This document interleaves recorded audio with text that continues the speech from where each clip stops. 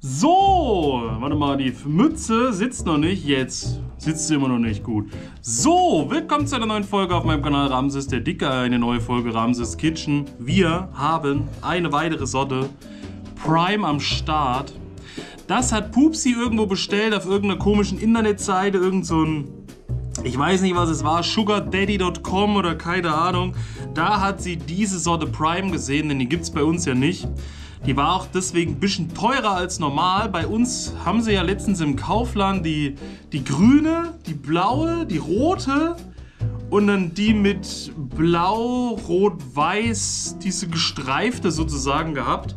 Die haben wir alle getestet in dem Video. Die haben wir alle für, naja, befunden. Also ich fand es im ersten Moment besser als Gönnerchi, aber äh, gefühlt jetzt mittlerweile würde ich es mir glaube ich trotzdem auch nicht nochmal kaufen, weil äh, irgendwie ist das alles nichts für mich. Jetzt habt ihr diese Sorte. Das ist die Pink Edition, ja. Da steht Hydration Drink, Poison Hydrationse, äh, Strawberry Watermelon. Also das ist diesmal keine Raspberry, kein Himbeer, das ist Erdbeer, Erdbeer, Wassermelone. Pupsi wollte probieren. Wir haben das mal in dieses kleine Gläschen jetzt schon mal geschüttet. Damit ich das jetzt hier vernichten kann, wir probieren mal nur das kleine Gläschen.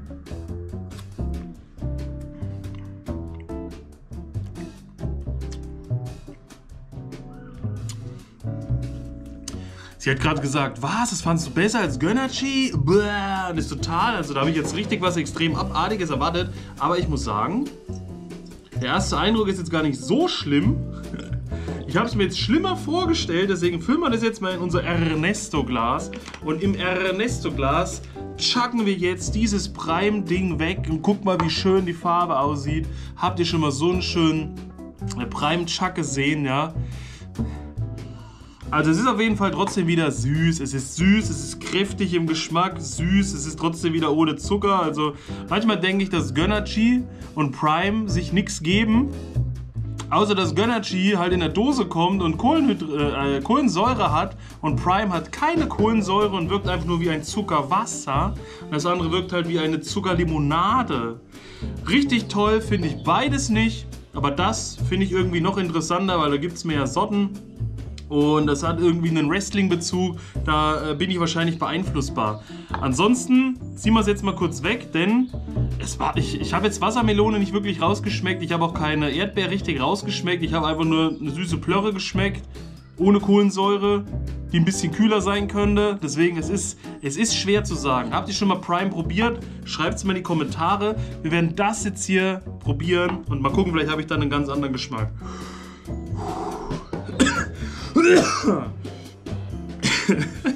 Das nehme ich übrigens hier auf für Mittwoch, während ich Dienstag und Donnerstag die Brezelpizzen hochlade. Die sind nämlich gerade im Ofen, deswegen muss ich so lange einen Schluck trinken.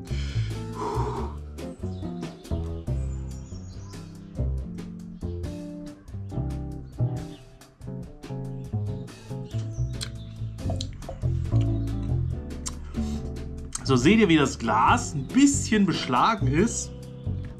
Das war doch ganz kühl. Und jetzt so beim Trinken, das Trinken an sich war sogar richtig gut. Habe ich bei Gönnergy, wenn ich diese blaue Dose getrunken habe, habe ich beim Trinken bei jedem einzelnen Schluck gedacht, boah, was ist das? Und dann hat es immer so gekratzt im Hals. Auch dann durch die Kohlensäure und durch den Süßstoff. Ich finde, es ist angenehmer zu trinken, wie Gönnergy. Aber der Geschmack ist halt trotzdem irgendwie künstlich, ist halt trotzdem nicht so, wie es sein sollte. Ob das jetzt gut oder schlecht ist, dass die Kohlensäure fehlt, weiß ich nicht. Ich trinke es einmal fürs Video. Nochmal würde ich es trotzdem nicht kaufen. Und die anderen Sorten wahrscheinlich auch nicht, obwohl Pupsi sich dieses Eispop, dieses gestreifte nochmal gekauft hat, aber egal. Jede Prime-Sorte mal testen, das wäre vielleicht mal ein Ziel, um einfach mal zu gucken, ob irgendeine dabei ist, die besonders heraussticht. Ansonsten finde ich die Flaschen eigentlich cool. Ich fand die Gönnergy-Dosen aber auch cool vom Design, dass sie einfach so stark eine Farbe hatten, aber geschmacklich ist es trotzdem irgendwie alles nix. Ich bleibe bei meiner Schwipschwapp und dann ist gut. Peace out, Vorhaut, euer Ramses.